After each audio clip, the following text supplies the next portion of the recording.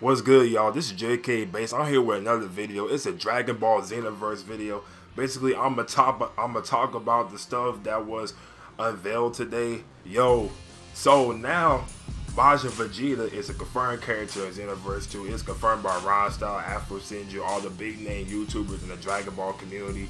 But man, that's amazing. We finally getting Majin Vegeta, bro. Like literally, I was missing him out last time on the on the first Xenoverse. But now we actually got him in the game. And if you saw the picture, you could tell like his clothes was battle damage. And I think we get final explosion. And it's even more better news. Bruh, not only in the boss battles, bruh, it's not gonna be three people. You can fight with six other people, bro. So basically, it's like a six on one assault on like a grade eight or something.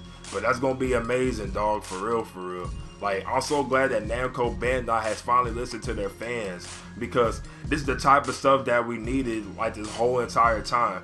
I understand why they they uh they released Xenoverse, of course, because it's like a test game. It's like a beta test. It's not the whole completed game. But Xenoverse 2 is gonna have everything in it, and then you never know. It might be like some like some more DLC and the pre-order is now available for Dragon Ball Xenoverse 2. So I'm just glad the fans, I mean, I'm just glad that uh, Bandai is finally doing this because we missed out on so many characters in Dragon Ball Xenoverse 1. But now we actually gonna have more characters in the game. The storyline's gonna be a lot better. The gameplay is better.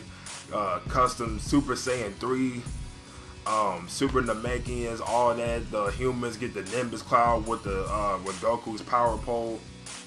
All that man, it's gonna be amazing. The monsters get the Kid Buu form. Like I cannot wait for Xenoverse. Like to be honest, man, 2017 is gonna be a real good year for gaming, man. I thought, bro, I thought 2016 was a good year for gaming, but 2017 is gonna blow 16 out the water, literally. But I think like the best year for gaming, in my opinion, was 2011 and 2013, but now 17 is just like blowing that out the water, dog. Because there's so many good games that's coming out. But Xenoverse 2, I've been expecting this game for the longest, man. Because because you guys know I'm a Dragon Ball fan. I always love Dragon Ball. Dragon Ball's the best anime in my opinion. Probably number one on my list. Just saying that. And I'm just I'm just so glad they're putting more characters into the game because like I said already multiple times, they missed out on so many people in the first game. Like, I'm telling you, like they made Frieza jump straight to his final form. Like, really, my nigga? Like, that's not that's not how it happened in the show.